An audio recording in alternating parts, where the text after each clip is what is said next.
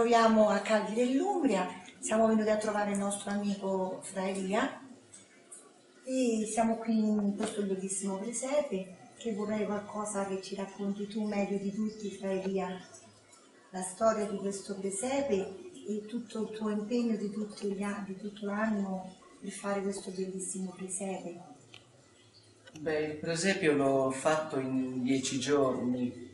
Il presepio rappresenta ogni famiglia di, di tutti noi, quotidiana. Eh, è bello il presepio e, lo deve, e chi lo fa lo deve saper vivere pure, perché vivendo con il presepio si riesce a capire quanto è grande l'amore di Dio, che alla fin fine si riporta sempre alla rinascita di, del nostro Signore. Presepio vuol dire famiglia, famiglia. quello che purtroppo tu tra Emilia mi insegni e ci insegni sempre che viene sempre meno invece in questo periodo bisogna pensare. Non, non c'è più la sopportazione, non c'è più quel, l'amore quello di una volta, di sopportarsi e di volersi bene. Oggi dopo 48 ore, dopo tre o tre mesi, eh, abbiamo subito la, la, valigia pronta, ma alla fin fine che cosa si è concluso? Nella vita nulla. Perché nella famiglia bisogna parlare, bisogna dialogare, bisogna dire tutto quello che tu pensi nel cuore. E se non c'è dialogo, che famiglia è? Ecco perché la famiglia viene rappresentata di poveri, grandi e tutti nell'unione, ma ci deve essere sempre la grazia di Dio. Senza Dio, l'uomo che cos'è? Infatti io eh, pensavo a questo presepe perché ogni anno eh, mi porta a venire a trovarti, oltre che vengo sempre per la tua grande amicizia, però questo presepe ti dà tanta serenità ti dà tanta voglia di andare avanti, quello che purtroppo invece fra Elia tu lo sai meglio di me, che sono, oggi ci sono le guerre, ci sono tante cose e dimmi tu quello che pensi di tutti questi C'erano, ci sono, ci saranno e con la pace sempre del Signore ci saranno sempre. Perché da quando c'è stato sempre Lui queste guerre sono sempre esistite, sono sempre la pace ci sarà, ma la pace la dobbiamo chiedere noi, la dobbiamo fare il passo prima noi, a dire Signore famci cambiare e facci volerci di più bene e avere la sopportazione. Se non abbiamo la sopportazione, che famiglia siamo? Se non abbiamo dialogo, che famiglia siamo? Siamo delle mummie. Oggi come oggi, anche la crisi nel mondo è venuta sempre da questa poco pace, questa pace che invece tu ci insegni e nelle tue parole ogni giorno ci porti avanti e cerchi di portarla avanti. Come mai anche per te, secondo te, tutta questa guerra? Che cosa por- ci porta ad andare avanti in queste guerre quando invece tu sei colui che predica la pace tutti i giorni? Io ti rispondo con una parola. Disse il Signore, dai a Cesare quello che è di Cesare, dai a Dio quello che è di Dio. Perché i potenti, quando non hanno il Dio dentro, non hanno Dio, l'amore di Dio nel loro cuore, non potranno mai vedere quello che devono camminare, mentre invece tutti camminano per loro e loro tra di loro. E a te hanno mai pensato? Ti hanno mai portato un pezzo di pane? Ti hanno mai portato per dirti oggi ti portiamo da bere? hai mai bevuto al fianco di lui? E quando eri sola, chi ti ha consolato? Mi ha consolato la fede. Ah, la fede quando sono venuta da te, tu che con le tue questa, parole mi hai sempre E questa è la grazia di Dio. Ecco. Questa è la fede, quello che sempre fra Elia ha una parola per tutti. Qui arrivano da tutta Italia, ma anche da fuori Italia. Da tutto il mondo. Da tutto il mondo. Fra Elia è chiamato ad aiutare con le sue parole semplici ma di grande umanità tutti coloro che entrano in questo convento. Fra Elia però ha avuto anche grandi battaglie per poter entrare in questo convento. Lui mi sorride perché sa che con la nostra grande amicizia sa, sai la verità, sai di tutto perché ti ho detto sempre la verità perché qua per fare qualche cosa abbiamo come, non combattuto come si dice, ostacoli, ma ostacoli da, che a me mi piace raccontarli in giro perché per dire guardate che non siete voi soltanto chi vi mette gli ostacoli, ma ce li mettono pure a noi quando abbiamo le porte chiuse, più a quelli che hanno le porte chiuse che, che, che c'ha il portone aperto. Eh. Ecco, sono questi gli ostacoli. Comunque. Però tu hai sempre la porta aperta per tutti. Per tutti. Sempre. Io sono anni che vengo da te, non solo quando hai momenti che sono i momenti dove tu incontri le, le, le persone, le genti che arrivano, ma tu anche se arriva una persona all'improvviso hai sempre, eh, se hai un piccolo boccone, lo hai sempre per tutti. Le parole sono sempre per tutti e questo eh, penso, e tu io lo so, stiamo parlando da amici, ma che tu l'hai avuto sempre anche da bambino. Da bambino quando ti, si è, ti hai capito veramente di quello che stavi facendo da bambino, e qual la tua da missione di vita? Da bambino non avevo capito nulla perché neanche i miei genitori avevano capito perché si andava avanti da dottori e dottori, medici e quando si arrivava il periodo di Pasqua diceva i dottori mi, liquidavano in due parole, dicevano signore suo figlio ha momenti le ore contate e ogni anno avevo un vestitino uno diverso dall'altro.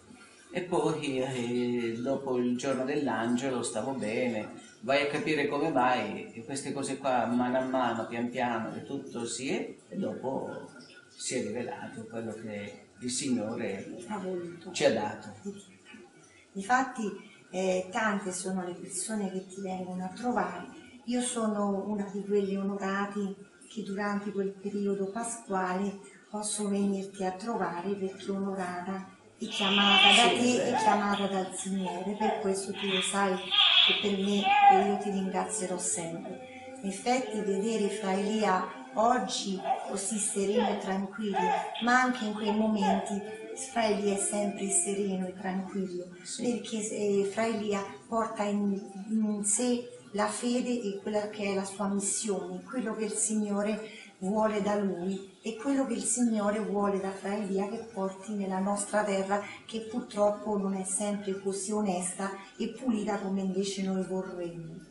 Fra Elia viene da una famiglia umile ma molto onesta. Io ho conosciuto la sua povera mamma che purtroppo non c'è più, ho conosciuto il papà che lo viene sempre ad incontrare con una età insomma, avanzata, conosciuto la sua famiglia. Lui è molto amato anche nella sua città, nella sua Puglia, che lo aspetta ogni volta che lui va giù. Lui è amato ovunque per la sua grande semplicità, la sua bontà d'animo, anche perché quando entri qui esci poi che sei in un certo senso più serena, più tranquilla, più ripulita dalla sporcizia che io dico sempre di trovare all'esterno perché purtroppo non è sempre che troviamo rose e fiori ovunque. Frelia, raccontaci tutto quello che tu eh, vorresti di meglio per questo 2017, per tutti noi, ma anche per te, perché tu pensi sempre a noi, ma io ti dico sempre che nessuno ti dice, tu dici come stai Claudia Maria, mi dici, ma mai eh, io sto bene, io sto bene perché tu hai questa tua missione, però che cosa vorresti per tutti noi, ma anche per te, da questo 2017? Non vorrei più le guerre, non vorrei più tutte queste uccisioni, non vorrei più tutte queste cose che succedono nel mondo, ma vorrei la, la vera pace. La vera pace di, o come un treno che cammina su un binario e ti porta alla sua destinazione e quando scendi c'è la tua casa, c'è la tua famiglia, il tuo amore e la tua accoglienza e tutto. Questo chiedo al Signore, la pace, la vera pace nel mondo, la vera pace nel mondo come Lui l'aveva già prescritta all'inizio, ma io spero che questa pace avvenga. Venga la pace quando, come si dice, quando esplode un vulcano, c'è una guerra, siamo tutti terrorizzati, chi muore, chi, chi ha paura, chi, e questo vul- vulcano eh, comincia a salire, a salire, a salire, a salire, esplode. Per me è grazia, perché quando una persona arriva a esplodere, la preghiera arriva nella grazia di Dio, è pace. E poi di così tutto si mette nei, tra, con la tranquillità. Allora io vi dico, stiamo sereni, Signore, nel 2017 io chiedo la pace, io chiedo la conversione dei politici, perché conversione non, non ne hanno, è una lite tra di loro, ma che se la vedono loro, ma a noi non ci interessa nulla, perché chi li conosce? Io non conosco nessuno. Io conosco Dio, io conosco la grazia e l'amore di Dio e di tutte le persone che vengono, che, hanno, che sono arrabbiate con il mondo, mettergli nel loro cuore quella fiammella di dire stai serena. È come te, Claudio, di dire stai serena e devi andare avanti. Se nella brutta e nella buona sorte non ti devi preoccupare, ma devi crescere il tuo figlio e lo devi portare con i sani principi perché un domani lo devi consegnare a Dio. Tutto qua. Eh, parli di figli, raccontaci quello che sta succedendo all'estero e cosa tu stai facendo per dei bambini che sono molto sfortunati. So che tu sei molto geloso di queste cose perché non sei un ciarlatano non mi piace sei, parlare. e non ti piace di parlare ma di fare i fatti. Però con la grande amicizia che abbiamo mi piace che tu dica ai nostri amici, alle nostre amiche, quello che vorrai fare, qual è il tuo pensiero, perché magari non tutti sanno qual è quello che tu vorresti fare, quali sono gli obiettivi Questa da domanda, la, questa domanda la faccio a te. Se tu fossi piccola, chi vorresti vedere? Vorrei vedere il futuro, vorrei vedere arrivare ad essere La anziana. mamma e il Ah, papà. la mamma e il papà. Perché i bambini hanno bisogno della mamma e del papà, non hanno bisogno di vedere, hanno bisogno di, dire- di sentirsi coccolati, hanno bisogno di, di sentirsi abbracciati, hanno bisogno di sentirsi, di dire ho bisogno di te mamma, papà. Sì, povera sventura, i bambini non si buttano, i bambini non si gettano, i bambini non si ammazzano, guai. Non mi vorrei trovare di fronte, dentro quella persona che butta i bambini, di fronte quando arriverà il momento di dire. No, è una cosa bruttissima, guai. I bambini bisogna crescerli, amarli,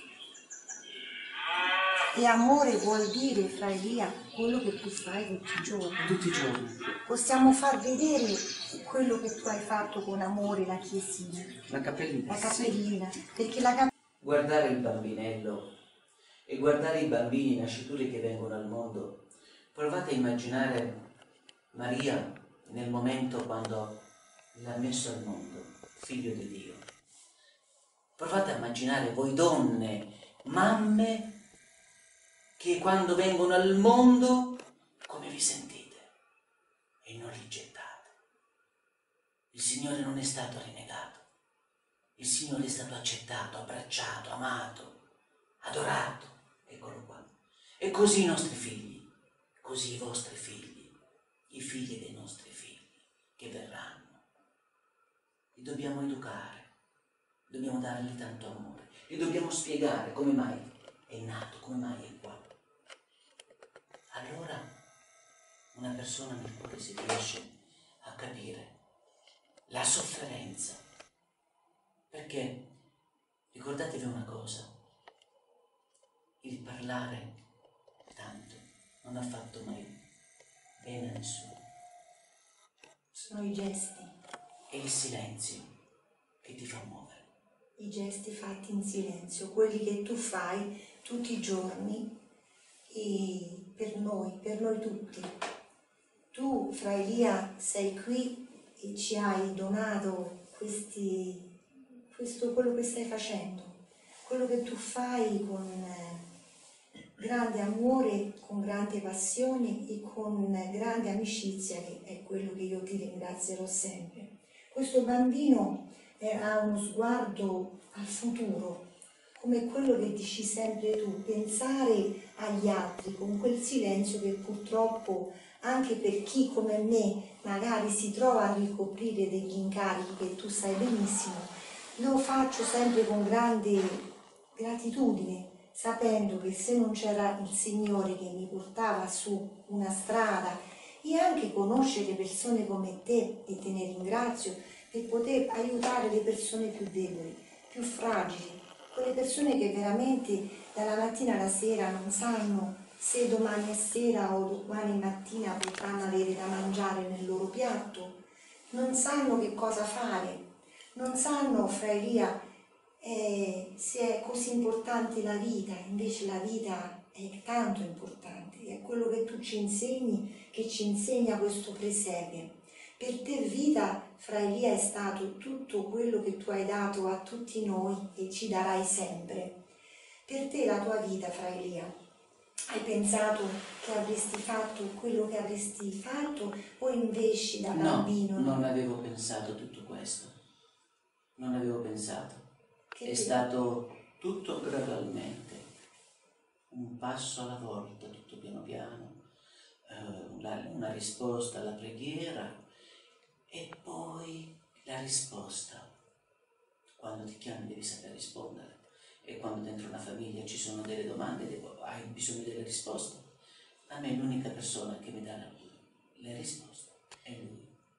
Vengo qui dentro, devo pregare, delle volte c'è un dialogo che devo parlare, devo parlare perché devo capire, voglio sapere per non sbagliare. Quel dialogo fra Elia che tutti ti chiamano a dare. È preghiera. È preghiera. E la preghiera, dopo va data, deve essere svistata così. Viene donata da te con tutto quello che fai per tutti noi, sempre.